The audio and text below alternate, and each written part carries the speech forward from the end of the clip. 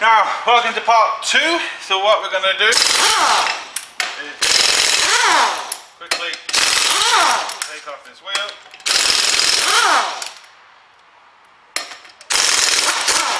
This is 24 mil.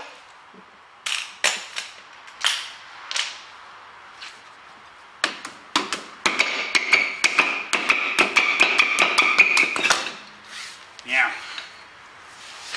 Ew. Not expecting to see that. I have to change the calipers, but I'm also going to have to change the pads and discs. As we can see, they're really, really bad. This is what happens with discs. They stay good for ages and literally they can do it more or less overnight where they because they basically rust from the inside out and this is all the shiny bit peeling off it's just pure rust at the back and it goes all bumpy lumpy and horrible so I'm going to have to change the pads and the discs and the calipers let's get cracking Right, the first thing you want to take off, and I always forget to do it, is take off the little uh, bolts that's holding on the disc. Uh, it's easy to do it when the actual caliper's on. Now, sometimes it's tight, sometimes it's not. Sometimes, even if it is tight, it's a T40 uh, Torx, by the way, and sometimes it is tight. If you just give it a good quick shock like that, you will get it now. Not all the times, but sometimes. This is also from memory serves is a wind back caliper so I can't push the piston back I have to wind it back so now I've done that I need to undo the 15 mil get my 14 15 mil spanner please Sean whip off the, the caliper the carrier and then take off the discs and then bang everything back on actually I don't have to wind back these calipers because I've got new ones sorted Right, so it's a 13, like it turned out. So let me just undo them first. There we go. Now it's best to crack both of them first. Because if you completely undo one and take the bolt out, especially if you take the top bolt out for example like this, the caliper, well this one, but the caliper can tend to move. And when you're trying to undo this bottom one can be quite difficult. So crack them both. It just makes your life so much easier. So that's two 13 mils bolts out of the way. Now we just need to take that out of the way as we can see the camera's showing this but it is a wind back hopefully this is coming through it is a wind back caliper but like I said we don't need to do that because we're changing the caliper. Pads are shot, but even if the pads weren't shot, the discs are shot. So, and this is a good example that's coming through on camera. You can see the grooves that it takes. So, if you were to put new pads on this disc, which you'd be stupid to, but if you did, it wouldn't take long for it to, to literally cut that groove into the new pad. So then you decide a week later, oh, I'm going to change the disc. Well, you have to change the pads again because the pads are completely uneven and you'll get vibrations and all sorts. So when you do it, you just do everything together, you're sorted. Now, we have the carrier on, which is most probably a 19 or 21. Get me 19 and 21 socket, please, Sean, and the big long ratchet. So, it's actually an 18 mil. So let's whip off both of these.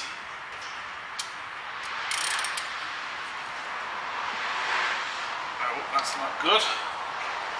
Doesn't feel very good at all, that bolt. Has it been rounded before? Doesn't feel... There we go, we got it. Again, you want to loosen both of these as well before you go any further. And now they're loosened, get my little air gun.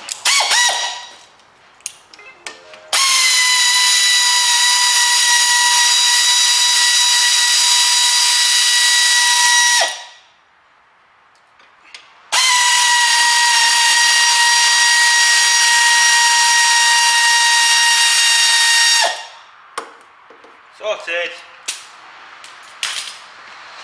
No harm, give these a bit of a wire brush as well, just to keep them nice and clean. So, the carrier now comes off.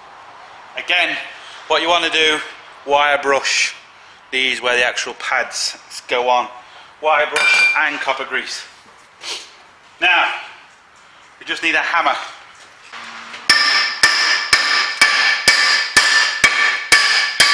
All the crud and crap over the years has just kind of sealed this on a little bit.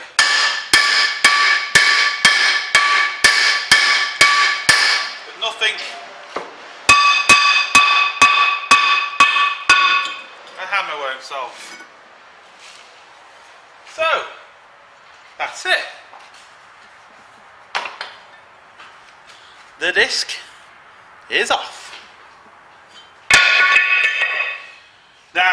to wait till tomorrow before I can get the new discs. So there's not a lot I can really do. I suppose I can put on the caliper, but no point really. So yeah, look, I'm going to uh, get the parts, continue this video tomorrow. Right, we can continue. This is only a few seconds for you, but it's the next day for me. I have the parts. So what I'm going to do first is just to make it easy for me, I'm going to put the caliper on because there's no disc or anything else in the way. Now, we have a nice shiny new caliper.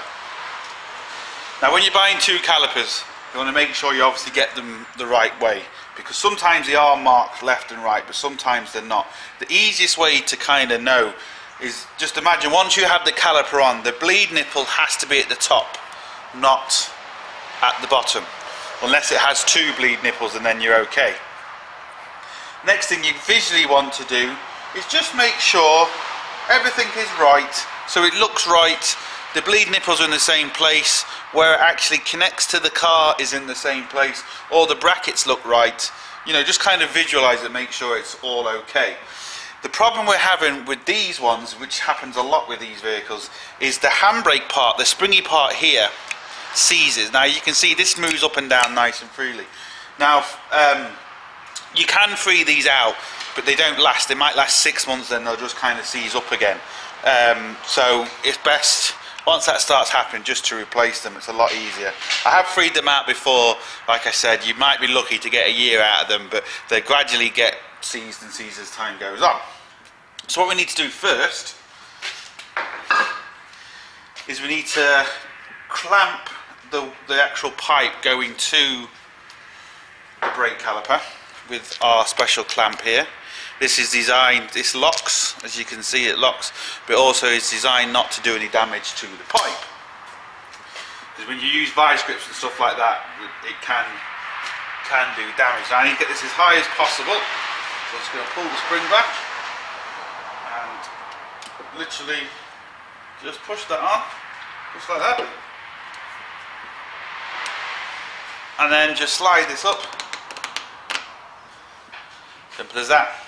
Now I can actually release the uh, pipe and I also need to release the handbrake cable. As you can see, also you obviously need to make sure the handbrake is down because if the handbrake is up it's going to make it harder for you. This, as you can see, is seized on even now. Which, to be fair, will make our life a lot easier. You can see how I've just pulled that cable. I've just pulled the cable out, so it means I can unhook this nice and simple. I shouldn't be able to do that. This should be, move it down by hand. Now, it needs to go even more, but as you can see, it moved, but it won't spring back like the other one. So, I've now disconnected that so it's actually it's a lot easier now it's seized to do that. And I'm going to take off the uh, brake pipe now. Right, it's 15 mil. This, to be fair, normally is, well that's, that's gone alright. Normally it's easier to loosen that when the caliper is on because you bolt the caliper on and it means you're not having to hold it. I lucky enough I kind of got away with that but it's just a lot easier to take that off when the caliper is on the door. What I need to do now is there's a little clip that's holding the handbrake cable. So if I can just hope to get that clip out.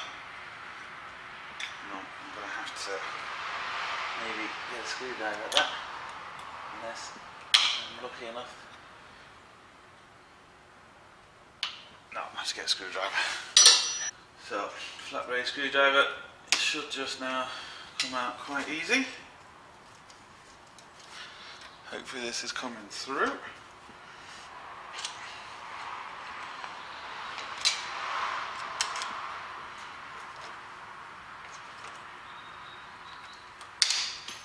Oh, that's what you don't want to happen. That went flying. Now, that's a little clip I took off. Now, with the new caliper, you get everything but that little clip, so you don't want to lose the clip like I nearly did.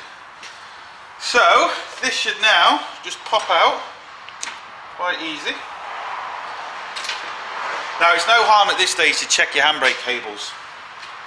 These were recently changed in this, so I know it's okay. Should be nice and free because if they're seized it will hold on the brake which then seizes the brake. Now these calipers are still working. It's just the handbrake side of them is seized. This this side here.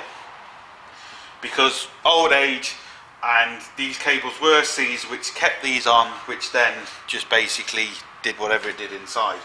So it's just a good thing to check especially on these things. Now I need to spin the whole caliper around. Now with most calipers you have to take it off completely to actually take this pipe off. As you can see I'm spinning the caliper. You can't spin the pipe because you'll twist the pipe so the caliper has to come off. This is the caliper here, this is the wind back and this is the spring here which I can't even move now. But I moved it up and it's just stayed there as you can see so yeah definitely time to change it. So caliper.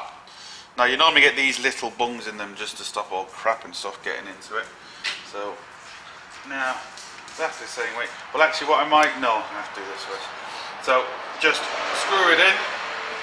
Can be a bit tricky this. Because you have to hold the weight of the caliper and also get that in square. Now it's in. I can just screw it all the way home.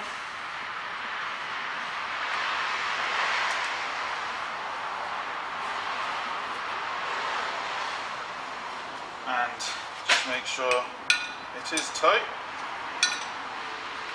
which again can be quite hard.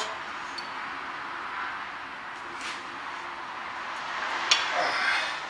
Now that's in but what I'm going to do once I get it on I got it tight as I can but once I get it on just give it a little bit of a nip.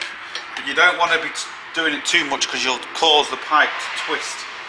So I can release this now let the fluid flow.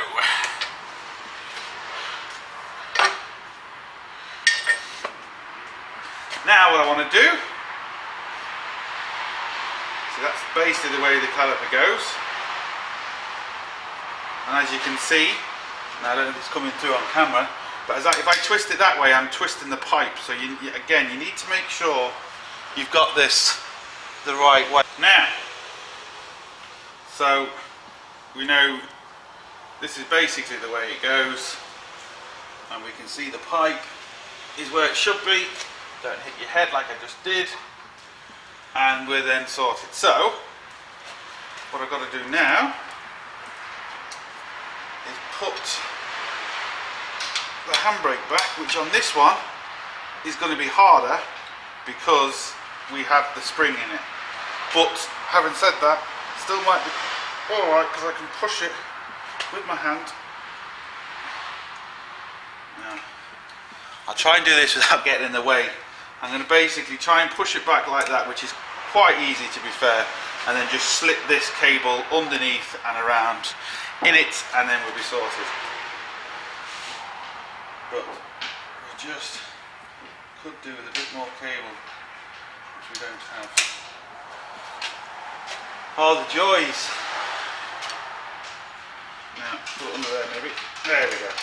Now, it's in. So I put it underneath, push it together, and it just clips back. But as you can see now, this is going backwards and forwards really easy, which the other one just wasn't doing. So we know when we pull the handbrake, Be nice and easy to pull that and it will release. Kind of says what it does on the tin. So we've got to make sure as well we don't get these pipes crossed over each other so we know we're in line there. And like I said that comes to about there. There's no twist in the pipes. We're sorted. Now we need to put the brakes back on. New ones. Shiny new ones. So new shiny disc. What you need to do is you need to match it up with the old one again. Make sure the holes in the right place. Make sure it's the right thickness and the right height. Some are solid some are vented so you just want to make sure you get it right so I'm going to line up the little hole, the little screw hole with the screw hole in the disc. And literally just bang it on like that. Simple as that really.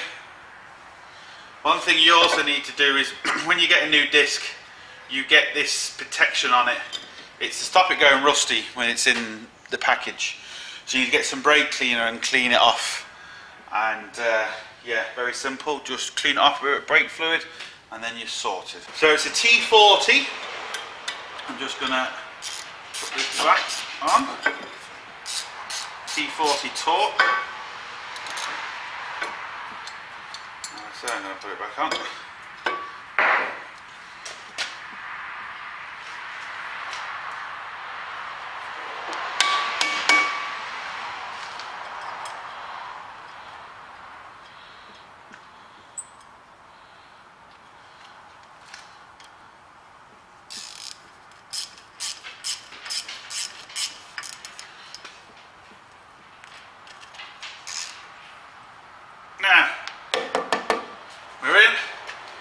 Spin, make sure it's nice and straight. Look down this end and make sure it's not wobbling so that it's sitting, we know it's sitting flush, which is good. And obviously it goes without saying, once you do one side, always do the other side. And that goes with anything on the car. I know it's down to money, if you're doing it yourself, you're saving yourself the labour so you can spend a few more quid on parts and you're getting more of the work done. So important to do brakes both sides. Don't don't even try and scrimp out. Just do them both sides. Preferably, it is good to do it with calipers as well. If you put one caliper on, the other caliper is going to be older, might not be working as good. Second-hand calipers, certain cars, yes, go ahead, no problem. This particular, the Renault Masters and that type, the, the handbrake cables give too many problems. The, the, well, not the handbrake cables, but the handbrake on the caliper. You get a second-hand one, there's a most of a chance it seized. So with this one, unfortunately, I wouldn't go for second-hand one. But certain cars, yeah, no problem. You can get second-hand brakes, no problem. Uh, second-hand calipers, sorry, not second-hand brakes. You never get second-hand brakes. Never, never, never. Now, what we need to do is put the carrier back on. Now, we need to do a couple of things with this. We need to make sure these are moving in and out, which they are, as you can see very nicely. And we need to clean this. But what we actually get, and then if you got, when you get a new caliper, you get the new pins. So we've got new pins and we've got new rubbers. Now you might as well use them because if these pins seize then your brakes aren't going to work. So you get new pins, new rubbers, new everything. And you even get grease. So what we're going to do is literally just pull this out. Just like that. Now it's no harm to keep these because you never know when you might need them. So what I'm going to do first is I'm just going to push it in, we're putting no grease to try and seat the, uh, which is not working now. I might try without that. This little seal I want to get inside there to make sure it's in because again, there we go. If that's got a hole in and water and crap gets in, it's just going to cause you problems with the pins which you don't need for obvious reasons. So on the two pins as you can see there's a slight difference. This one's the same thickness all the way down. This one's got a little kind of groove cut into it. And what you need to do on the old pin is take off this little rubber Magaji doody thingy and literally slide it on your new one. can be a bit fiddly. can be very fiddly. But basically that should, there we go look, just slide it on.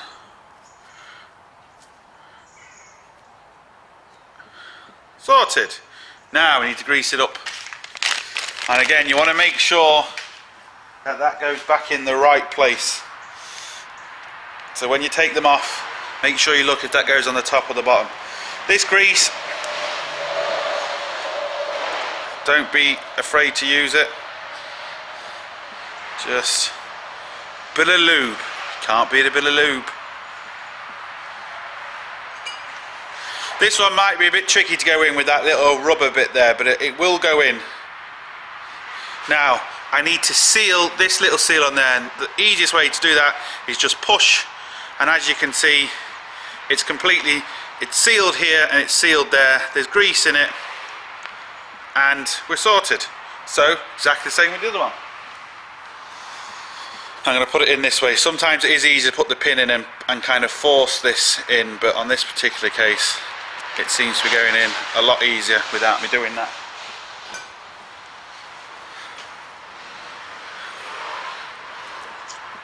New pin, new grease.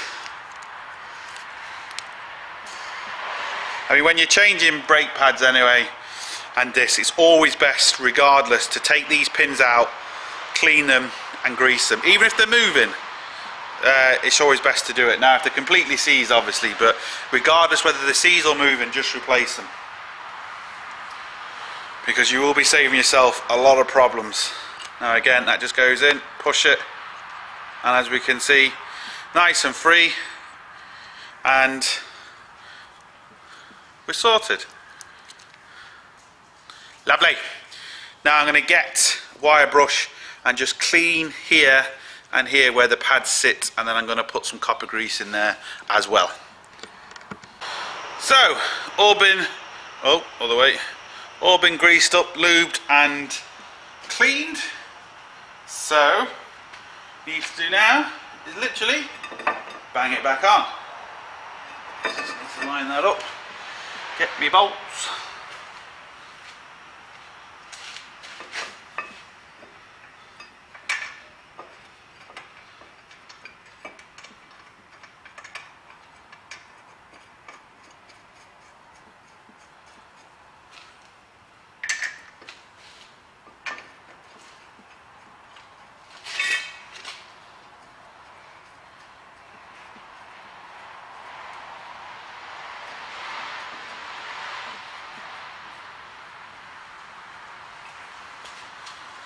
So it's just the two bolts from behind, nice and easy. Obviously give these a good squeeze. You don't want them coming loose. That wouldn't be uh, fun at 60 mile an hour. Right, so I've tightened that up, two 18 mil bolts. We're just left with the actual pads now.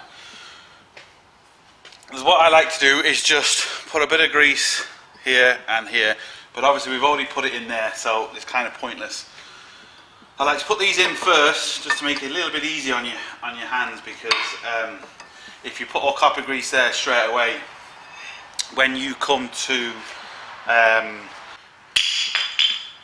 when you come to actually put them on you can get kind of grease everywhere so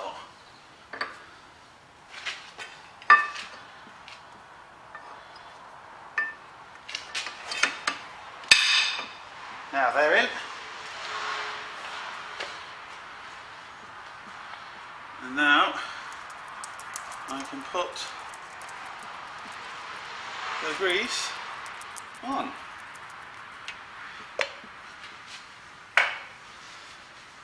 And the last thing is just get this right, make sure pipes aren't twisted, so they're not.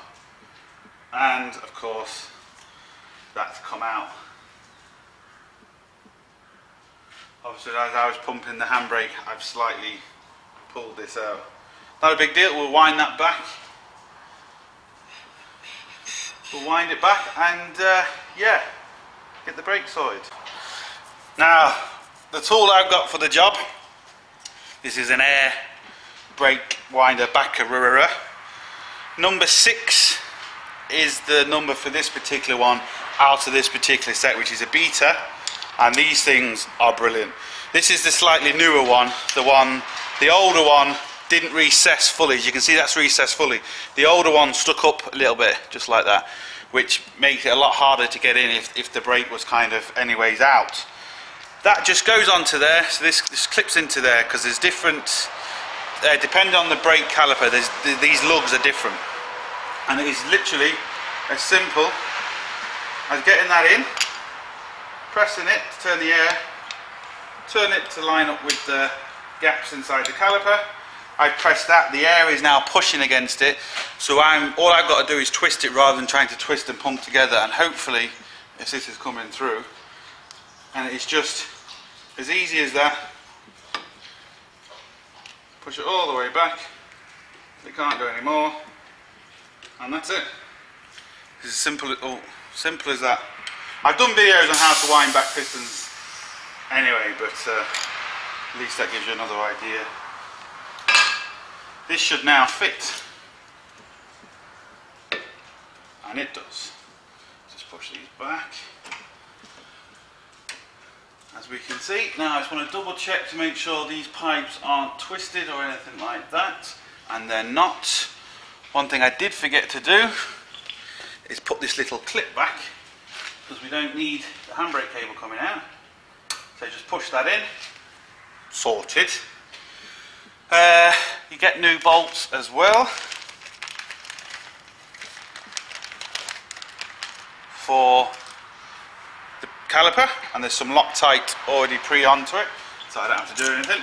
Just screw them in, line them up and screw them in. So as we can see that one's in. And number two now what I am going to do before I forget is just give the brake line a little bit of a squeeze. Now, I only got a tiny bit on it, but that's all I needed. And it, it is easier to loosen it when it's like that as well. So before you take everything off, which I didn't do, just give that a bit of a loose. Don't take it off, just loosen it. Clamp the pipe and it just makes it a lot easier for when you're putting it back, or when you're taking it off, sorry, rather than doing it the way I did it. So, tighten up these, which are 13. Now you have to be careful because these do need to be tight, but you can very easily round them. So you do have to be careful, or you can damage the threads inside the pins. So, just like that.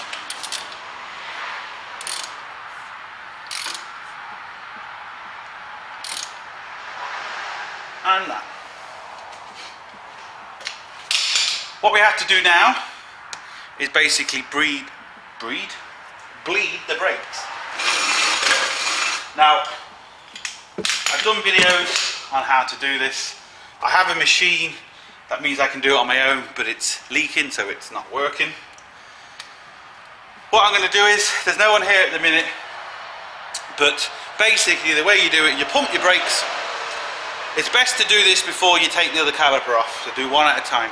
Get someone to pump the brake pedal until it goes hard, release the bleed nipple, air and fluid will shoot out, they keep the pedal down, you tighten the brake fluid, you tighten the, the uh, caliper nuts and you pump it. You might do that two or three times for all the air to come out. You'll know when the air's come out because basically after maybe one or two pumps brake pedal goes hard instantly. I'm Not going to show it in this video because like I said I've got no one with me and I've already done other videos on how to bleed brakes but that's basically what you do. So that's going to be the end of this. As you can see we've put new brakes, new calipers, new shoes on. Nothing really to it. Sorted, simple enough. And uh, should keep this going for a few more miles. Also another good thing just to make sure this does move around, it's not jamming or anything.